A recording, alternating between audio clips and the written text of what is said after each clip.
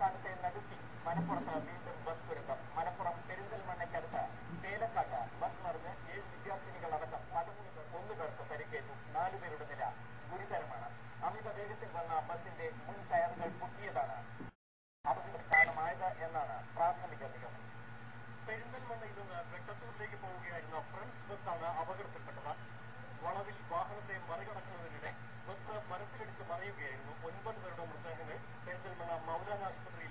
നാല് മൃതദേഹങ്ങൾ അൽഷിഫ ആശുപത്രി ഉച്ചയ്ക്ക് രണ്ടു മണിക്ക് ശേഷമാണ് അപകടമുണ്ടായത്. ബസ് അമിത വേഗത്തിലായിരുന്നുവെന്നാണ് പ്രാഥമിക നിഗമനം. ബസിന്റെ മുൻഭാഗത്തെ ടയറുകൾ പൊട്ടിയതും അപകട കാരണമായി. മിനി ബസ്സാണെങ്കിലും നാൽപ്പത്തിരണ്ട് യാത്രക്കാരാണ് അപകട സമയം ബസ്സിലുണ്ടായിരുന്നത് വിക്ടറി കോളേജിലെ വിദ്യാർത്ഥികളും അപകടത്തിൽപ്പെട്ടവരിലുണ്ട് മരിച്ചവരെല്ലാം തേലക്കാട് കാപ്പ് സ്വദേശികളാണ്. മനോരമ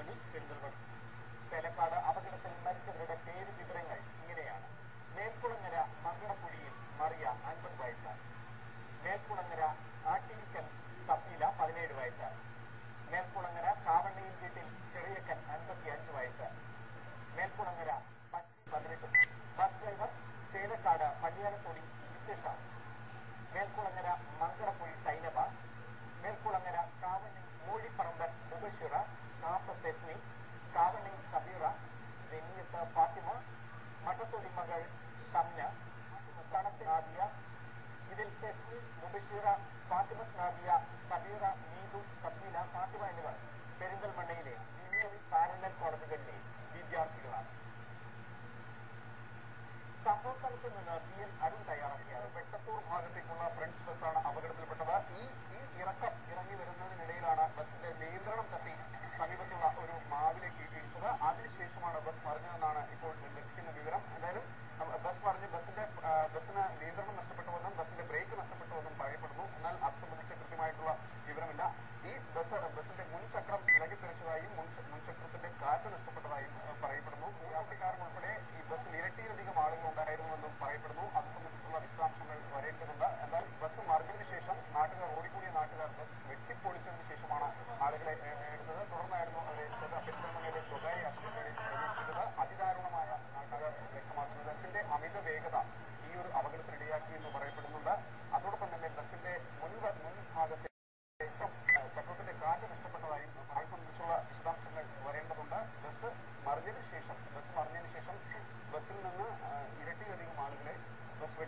District 101.